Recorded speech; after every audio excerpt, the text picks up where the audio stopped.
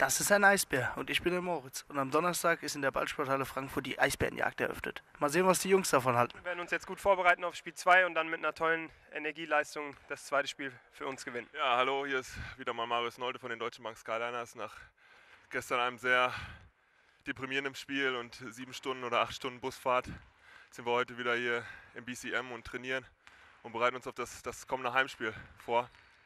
Wir haben uns viel vorgenommen. Ich denke, wir haben einiges wieder gut zu machen gerade was die Intensität und die Energie angeht, da wollen wir eine Schippe drauflegen und ich denke, das, das wird uns auch gelingen. Und das könnt ihr euch anschauen äh, und ihr könnt dazu beitragen.